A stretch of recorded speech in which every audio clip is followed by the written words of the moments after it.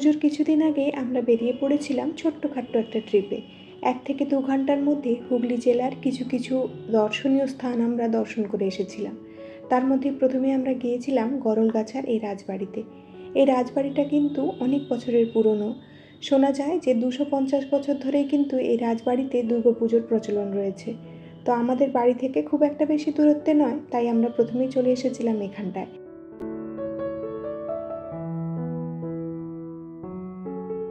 দেখলেনই তো মেন ফাটক দরজা দিয়ে ঢুকে কিন্তু এরকম সুন্দর একটা দালান বাড়ি দেখতে পাওয়া যায়। আর দালান বাড়ির ঠিক ওপরেই কিন্তু দুর্গা মায়ের মূর্তি অলরেডি বসে গিয়েছিল তখন। আর যেহেতু পুজোর আগে, তাই কিন্তু সমস্ত জায়গাতে একদমই ঢোকার অনুমতি ছিল না। তো আজকের ভিডিওতে আপনাদের সাথে সেই সেই জায়গাগুলো শেয়ার করব, যেখানটায় আমাদের ঢোকার অনুমতি ছিল।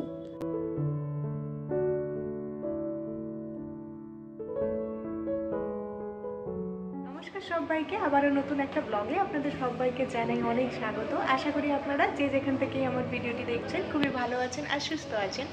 আজকে কিন্তু একদম অন্য একটা জায়গা থেকে আমি ব্লগটা শ্যুট করছি। একটু আগেই বেরিয়েছিলাম। আজকে হলো পঞ্চমী।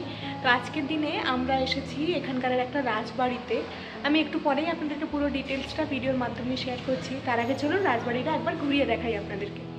নিচে দালানের ঠিক কাছে এরকম একটা লম্বা হল ঘর ছিল, যেটার পাশেই কিন্তু এরকম একটা সিঁড়ি রয়েছে। সিঁড়ি বেয়ে ওপরের দিকে চলে গেলেই দোতলা।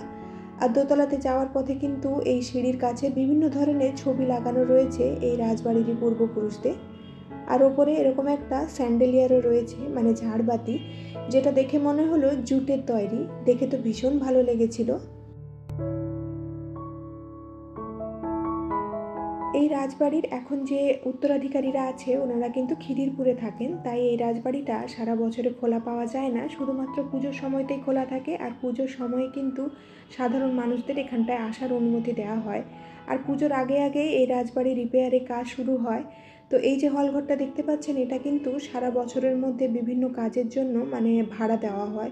বিয়ে বাড়ি থেকে শুরু করে অন্নপ্রাশনে ভাড়া দেওয়া হয়। আর এখানটাতে এসিরও ব্যবস্থা রয়েছে এই হলঘরটাতে। স্থানীয়রা এই রাজবাড়িটাকে কিন্তু বাবুদের বাড়িও বলে থাকেন। তাছাড়া ব্রিটিশদের থেকে এই রাজবাড়িটা রয় বাহাদুরও উপাধি পেয়েছিলেন। দেখতে কিন্তু এই রাজবাড়িটা ভীষণই সুন্দর আর সব থেকে ভালো জিনিস, এই রাজবাড়িটা অন্যান্য বাড়ির তুলনায় কিন্তু ভীষণ বেশিভাবে মেনটেন। কিছু কিছু অংশে ঢুকতে দিচ্ছিল না বলে এখান থেকে আমরা তারপরে বেরিয়ে এসেছিলাম মায়ের মুক্তি দর্শন করে।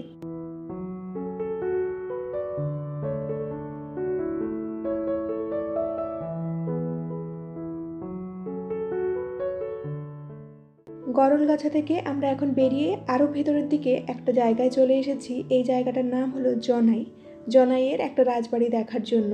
এই বাড়িটার নাম হলো উমা ভিলা। তবে এখানকার স্থানীয়রা এই বাড়িটাকে বলে থাকেন বাগান বাড়ি। এই বাগান বাড়িতে ঢোকার সময় বাম হাতে এরকম একটা পুকুর দেখতে পাওয়া যায়, যেটা সাধারণ মানুষরাই ব্যবহার করে থাকেন। তবে এই রাজবাড়িটাও কিন্তু ওই রাজবাড়ির মতো শুধুমাত্র পুজোর সময়তেই খোলা হয়, আর পুজোর সময় সাধারণ মানুষদেরকে ঢুকতে দেওয়া হয়। আর পুজোর ছাড়া বাদবাকি দিনে কিন্তু এই রাজবাড়িতে সাধারণ মানুষদের ঢোকা নিষেধ থাকে।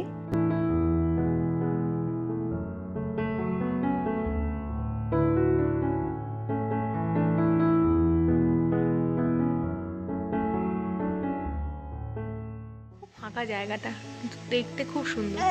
আগেরটা যেটা দেখেছিলাম ওটা কোথায় ছিল? জায়গাটার নাম? ওটা গরল গাছা ছিল। আর এটা হচ্ছে জনাইয়ের একটা রাজবাড়ি। খুব সুন্দর। পুজোর সময় যদি আপনারা কেউ আসতে চান, এখানটা কিন্তু আসতে পারেন। পুজোর সময় খোলা থাকে আর সারা বছর কিন্তু এসব জায়গা দেখা যায় না। তো জানি না এর ভেতরটা যাওয়া যায় কি না যদি যাওয়া যায়, তাহলে আপনাদের সাথে আমি শেয়ার করছি ভেতরটা। এই যে, খুব রোদ্দুর। এখন প্রায় একটা মতো বেজে গেছে। আমরা আর এক ঘণ্টার মধ্যে বাড়ি ফিরে যাব। আসলে এই জায়গাটাতে অনেকটা ভিড় থাকে তো, তাই অনেকটা ঘুরে ঘুরে আসতে হলো। তাই একটু সময় লাগল আসতে। না হলে আমাদের ওখান থেকে খুব একটা বেশি ডিস্টেন্স নয়। তাহলে চলুন আপনাদেরকে আরেকবার ঘুরে দেখাই। এই বাড়িটিকে কিন্তু মুখার্জি বাড়ি হিসেবেও বলা হয়, তবে এই রাজবাড়ির একটা বিশেষত্ব রয়েছে, পুরনো দিনের মতো এখানে কিন্তু এখনও পুজোর সময় লণ্ঠন জেলে পুজো করা হয়।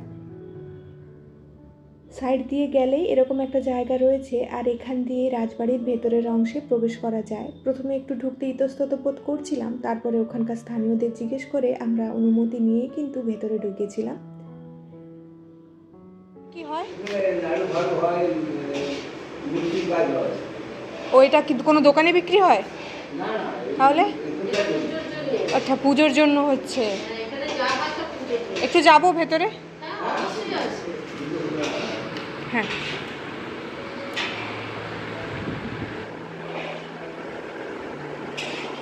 আচ্ছা এখানকার মালিক কোথায় থাকে? না আমি বলছি এই রাজবাড়ির মালিক কোথায় থাকেন? এটা হচ্ছে লাড্ডু গজা নিমকি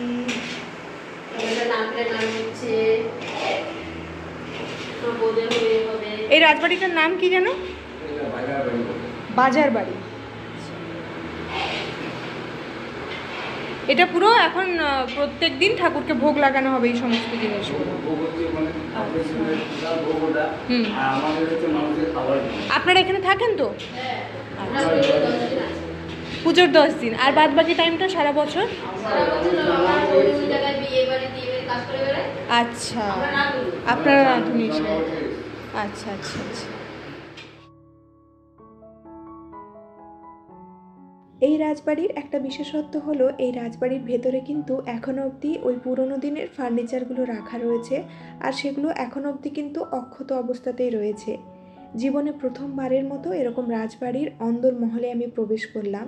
দেখে এতটা ভালো লাগছিল। আপনারা যারা গিয়েছেন বা যারা যেতে চান, তারা যদি যান অবশ্যই ভেতরে ঢুকে কিন্তু দেখে আসতে পারেন। ঢুকলেই বেশি ভালো লাগবে আমার মনে হয়। এখন আর বেশি কথা না বলে রাজবাড়ির অন্দরমহলটা আপনাদেরকে আরও একবার ঘুরে দেখাই, চলুন।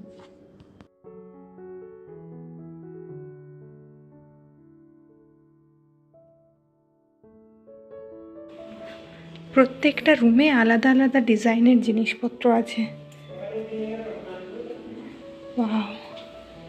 কত পুরনো ভাইব আসছে এই সমস্ত জায়গা থেকে। এই যে, এর পাশে দিয়ে আবার পুকুর দেখা যায়। যেখান দিয়ে আমরা এলাম, সেই জায়গাটায়। বাহ, ভীষণ সুন্দর জায়গাটা। চলুন তাহলে এখান থেকে বেরোই এবারে। অন্য একটা জায়গাতে যাই। এটা হচ্ছে একটা কিচেন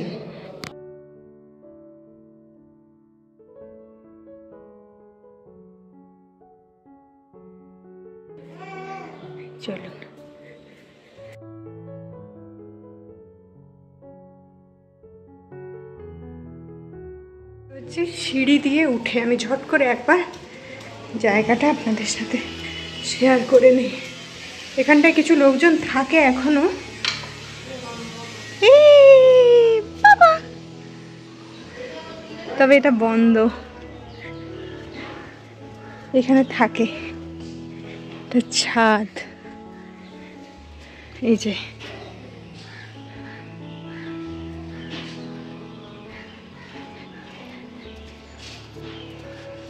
এটা পুরোটা জুড়ে একটা ছাদ আছে, অনেক বড় ছাদ।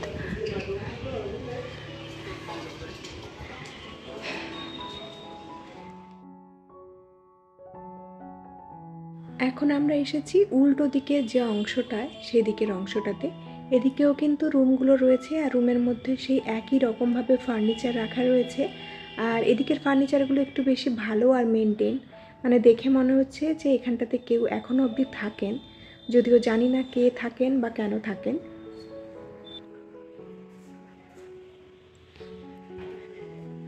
সিন্ধুকটা দেখুন। কত পুরনো তালা।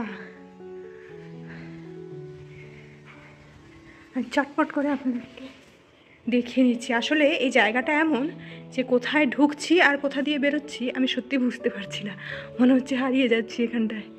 এই যে, এটা আরেকটা রুম কি সুন্দর এই জিনিসটা। এই যে। এটা একটা আলমিরা।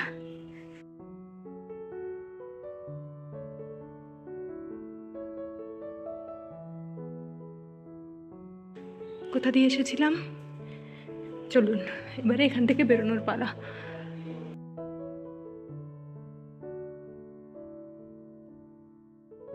এই বাড়ি দুটোর হিস্ট্রি জানতে চাইলে কিন্তু আমার ডেসক্রিপশন বক্সটা চেক করতে ভুলবেন না। ওখানটায় আমি মেনশন করে দেবো এই বাড়িগুলোর হিস্ট্রির ব্যাপারে।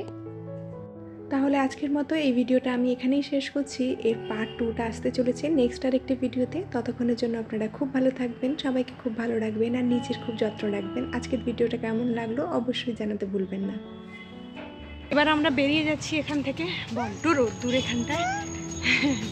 চলুন তাহলে পরের ডেস্টিনেশনে যাওয়া যাক দেখিয়েছি। পরের ডেস্টিনেশনে যাওয়া যাক আপনাদের সাথে শেয়ার করি।